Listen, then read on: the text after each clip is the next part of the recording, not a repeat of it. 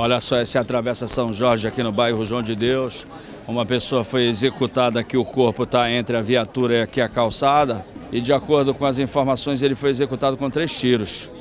Foram três tiros dados a uma curta distância, praticamente a queima-roupa. De acordo com as informações que foram obtidas aí pelo pessoal da guarnição do GTF, ele seria viciado, ele era dependente e de acordo com as informações, ele foi executado em função talvez dessa dependência aí. A guarnição do GTF tem feito aqui inúmeras incursões, saturação, passa e volta.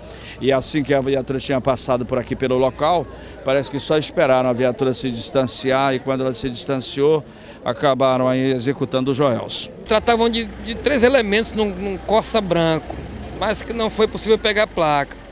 A gente tem alguns nomes aí que a gente não, não é melhor não revelar para não atrapalhar na hora de, de chegar até esses, esses, homicidas aí. Esse carro aí ele está rodando essas ruas do, da Vila Conceição, João de Deus, três, quatro vezes por dia.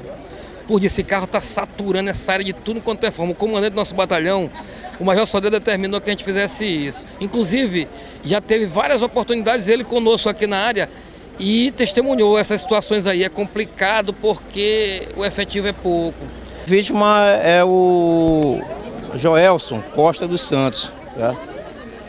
Ele reside ali na rua Boa Esperança, João de Deus.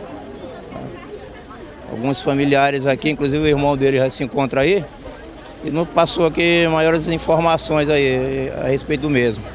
Ele, a família chegou aí, já fez o reconhecimento dele, confirmou que é o Joelson?